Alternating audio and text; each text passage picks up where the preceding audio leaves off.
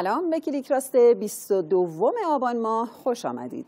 امروز اخبار فناوریمون رو از 16 همین اجلاس سراسری فناوری رسانه براتون انتخاب کردم. سوژه هایی که مربوط میشه به اجلاسی که از 20 تا 22 آبان ماه در سالن همایش های صدا سیما در حال برگزاری نمایشگاهی هستش که 50 درصدش مربوط میشه به نمایندگی های خارج از کشور و 50 درصد باقی موندهش نشونه میده از فناوری هایی که ما توی رسانه می‌خوایم ازش استفاده بکنیم تکنولوژی های روزی که بومی شدن. همونطور که می‌دونید ایران امسال به عنوان ششمین کشور در حوزه مقالات علمی در زمینه هوش مصنوعی انتخاب شده و از این جهت قرار شده که طرحهای ما توی فناوری رسانه و زیرساختاش مبتنی بر هوش مصنوعی باشه. مثل این عینک واقعیت مجازی که از سیستم وی آر استفاده می‌کنه. توی همین نمایشگاه به نمایش گذاشته شده بود که ویدیوش هرچند با کیفیت پایینه چون با گوشی موبایل خودم گرفتم اما به نظرم تماشایی. بفرمایید.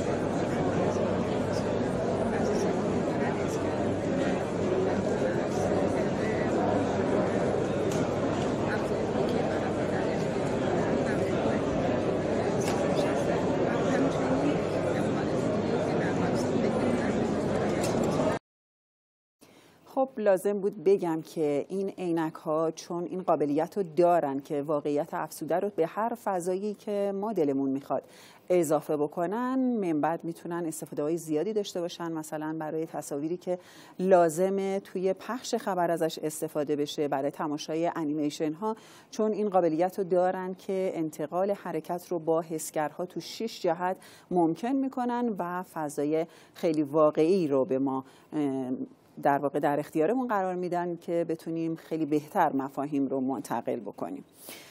بریم سراغ سوژه بعدی. امسال توی این نمایشگاه یه تفاوت عمده با سالهای پیش داشتیم. اونم این بود که از تکنولوژی های ماهواره‌ای و فضایی بومی توی این نمایشگاه در واقع ما یه سری تولیدات داشتیم که به نمایش گذاشته شده بود که خودتون ببینید که از کدوم دانشگاه ها به این فضا راه پیدا کرده دانستن دانشگاه امیر کبیر علوم صنعت دانشگاه شامل و شرکت های دانش بنیان مثل شرکت کاوشنگاران فناور فناوران صنعت اسپورت و مابقی شرکت های دانش بنیان در این نمایشگاه شرکت کردن و سیستم هایی که مرتبط با صنعت فضایی هستش که در مرز نمایشگاه ابزار چقدر می‌تونه کمک بکنه به نوین شدن رسانه ما؟ خدمتتون عرض بکنم که ما یک از مشکلات بزرگی که سازمان باش روبرو هستش بحث سیگنال رسانی ماهواره هست. با توجه به شرایط کنونی ایران که ما تحت مقداری هم که بخش هستیم متاسفانه مشکلات خیلی زیادی رو برای سازمان وجود داره برای برای هستش که بتونیم اتفاق تحت توانمندی داخلی و از سیستم هایی که مثلا عمومی در داخل ایران ساخته شده تحقیق پروسش انجام شده و تست شده و پرداخت شده برای استفاده های پادکست ازش بهره استفاده از پهبادها برای تصویربرداری بهتر. اینم یکی از سوژه هایی بود که ما تو نمایشگاه دیدیم و بهمون اثبات شد. فناوری فناوری سنتی از طریق بالگرد سوار هلیکوپتر میشه پرواز توی سطح مراسم مراسم تصویربرداری انجام میشه. یه تصویربرداری جدیدی که با این هایی که خب تحصیل کرده کار تصویربرداری از این نمونه که دوستان هم پرواز می‌کنه. کار انجام میشه. و بیشتر تصویربرداری در حال حاضر تصویر کوادکوپترها انجام کوادکوپترها سازمان داریم که آخرین فناوری هستش که صنعت برودکست خریداری شده و استفاده میشه. از سریال میسپایل وان میسپایل تو کوانتوم و در حال پرواز به اسم نوید پول بروی که خب جز آخرین محصولات شرکت اجرایی تو مناسبت مختلف تصاویرش هست اربعین راهنمای 13 آبان 22 بهمن هر مناسبت سراسری این کار مسیربرداری پس از گرفتن مجوزهایی که فقط به سازمان موضوع داده میشه گرفته میشه و عملی تصویر بله امروز هم سوژه روباتیک داریم اما سوژه روباتیک امروزمون هم رسانه ایه هم بفرمایید ما به واژه ربات برخوردیم جایی که برای ما همه بیننده های ما یه جای سوال برانگیز همیشه مشتاقن که بدونن با ربات ها چه کار میشه کرد.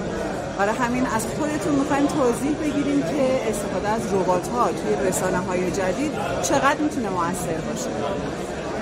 از خدمت شما که علم رباتی در در دنیا بیشتر سی سال خدمت نداره برای کشور من شاید ده سال خدمت نداره که در دو تا دانشگاه تاسیس میشه و دانشگاه دانشگاه صنعتی هم دانشگاه صنعتی شد من خودم فارغ التحصیل رشته مهندسی روباتیک هستم. از دانشگاه صنعتی هم. کار ما طراحی سیستم‌های هوشمنده یعنی سیستمایی که برای انجام کاری نیاز به کمک انسان نداشته یعنی بدون دخالت کاربری بتونن خودشون عملی که براشون تعریف شده انجام الان ما اومدیم از در واقع این رو ربات طراحی کردیم برای فیلم برداری یعنی چی؟ یعنی روی کافی قرار می‌گیره و می‌تونه از سوژه مورد نظر که در حال حرکت هستش با سرعت 40 کیلومتر بر ساعت بالای سوژه حرکت کنه و سه محور بزنه و از سه زاویه متفاوت بتونه از سیستم از سوژه فیلم برداری کنه. همین وسیله؟ این مدل مدل خبری ازش که مثلا باشه سازمان برای گروه های خبری داریم طراحی می‌کنه که بدونن به راحتی حمل و نقل کنن با خودشون ببرن این رو بعد فضاهای باز و جنگلی یا هر جایی بتونن راحت نصبش کنن. های بالا کمتر.